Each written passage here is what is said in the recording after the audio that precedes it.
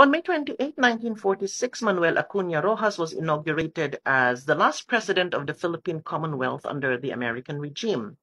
More than a month after, on July 4, Roxas was once again sworn, this time as the first president of an independent Philippine Republic.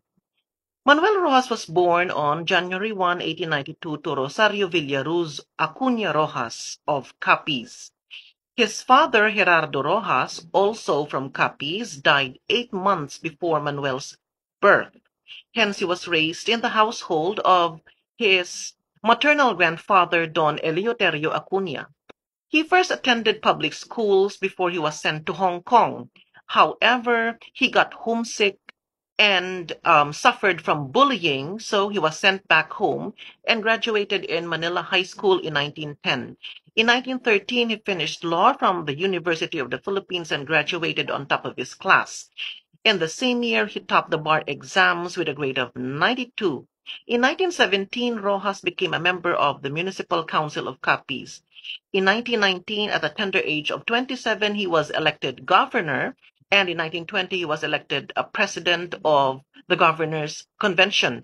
In 1921, he married Trinidad de Leon after a whirlwind courtship, and they had two children, Ruby and Gerardo.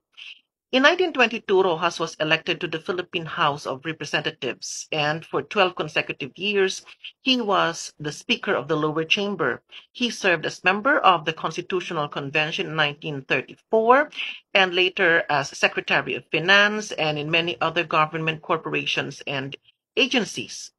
During World War II, he served as guerrilla and military leader until he was captured in 1942 by the Japanese forces. He then served as chief advisor to P. Laurel while secretly helping the guerrilla movement. He was returned to the military service by Philippine Commonwealth Army at the start of the liberal campaign against the Japanese. After the war, Roxas formed the Liberal Party and he became its presidential candidate during the last presidential elections of the Commonwealth period. He had the support of General Douglas MacArthur, but he campaigned heavily and eventually won against the incumbent president Sergio Osmeña in a slim margin. On July 4, 1946, the Philippines finally obtained its independence, but the country was suffering badly from the effects of the war.